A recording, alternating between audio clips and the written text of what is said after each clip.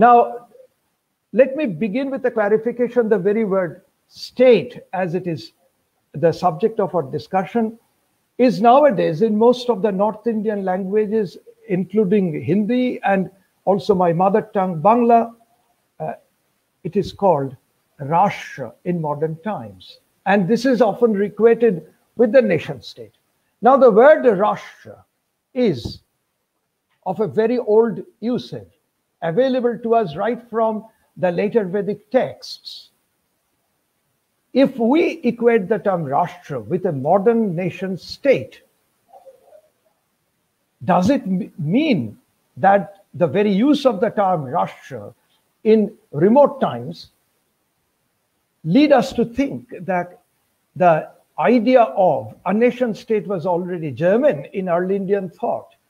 Now, this is a major problem. The use of certain words in Sanskrit language also change like many other things of ancient times.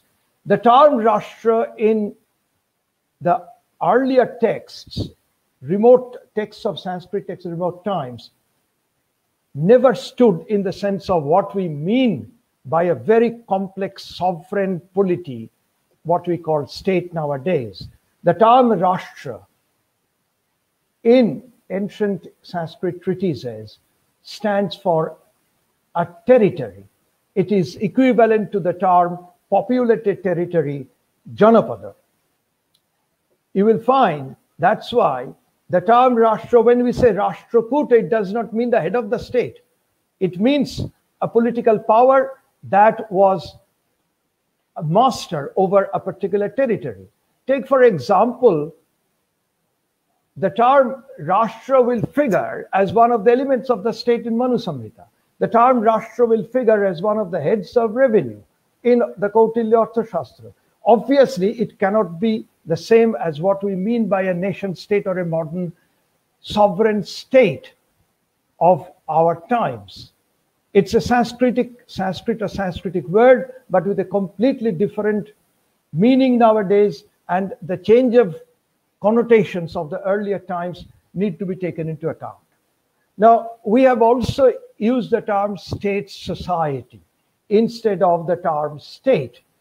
The point is, when we look at the changing perspective of the state, it is not merely the history of a, a, a particular structure continuing over ages without any change. It is not a static political situation.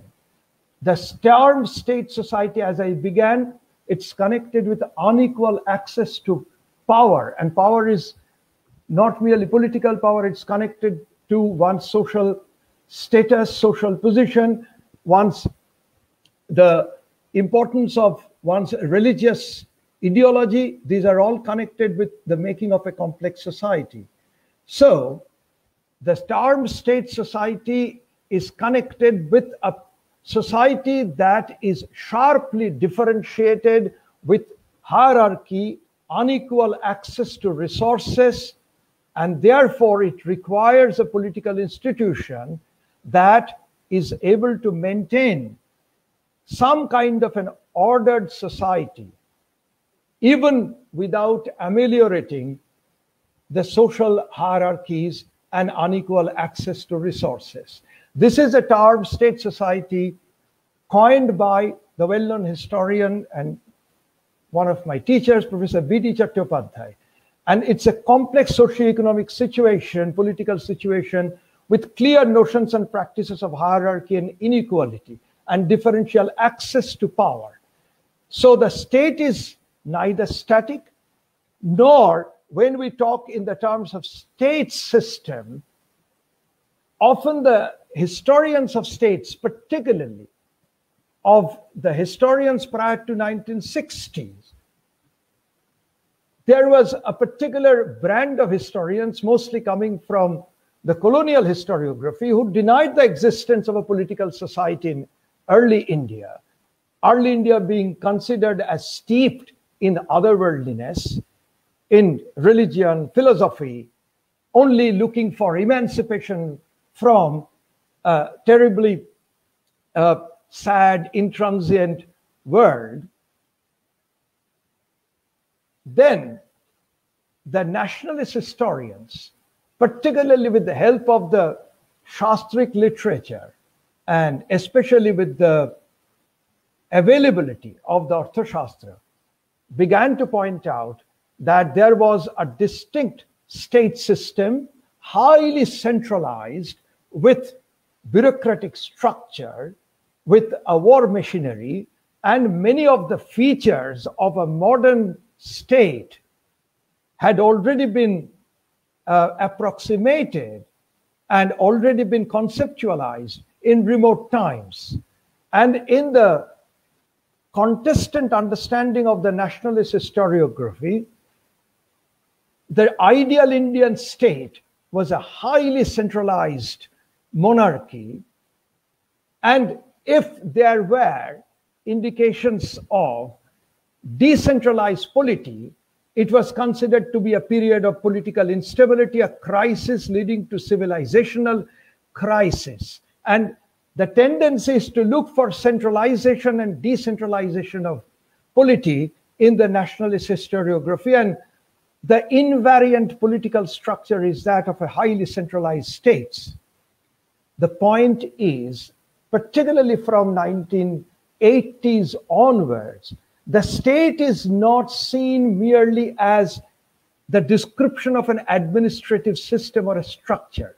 It is connected from the emergence of the state apparatus, state as a political organization in a given society which requires the state, and that kind of a society is different from the pre state societies, relatively simpler with more equitable distribution of available resources. I'm not telling fully egalitarian, that is not perhaps possible. There will be uh, differences in rank and status, but relatively less sharp differentiation in the access to resources and also the attending social ranking.